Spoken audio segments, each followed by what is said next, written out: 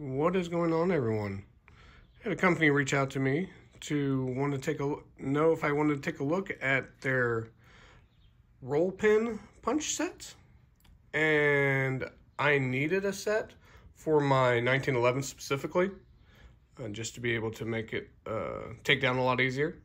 And so they sent me out their 40 piece kit, and man, is this thing comprehensive. Let's start over here. We've got your hammer. We've got a couple different uh, types for your uh, your hammerheads. Got a pair of tweezers. Now, you have so many different types of punches with these. You got brass, you got pin, you got roll pin, you've got long handled pins, uh, punches. This right here is something that's really nice also.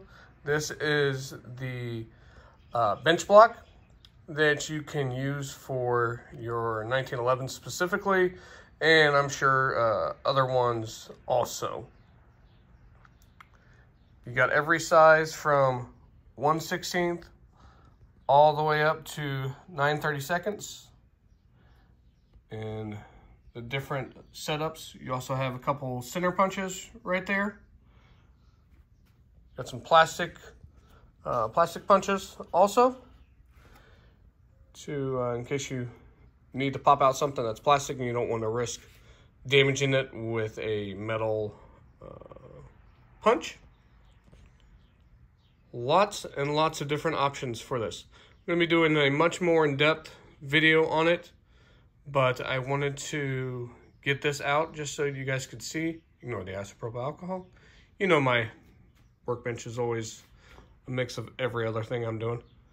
And yeah, this is going to make my life a lot easier with my uh, 1911s, my ARs, any type of uh, firearm that I use that I have to pop out a, uh, a pin with.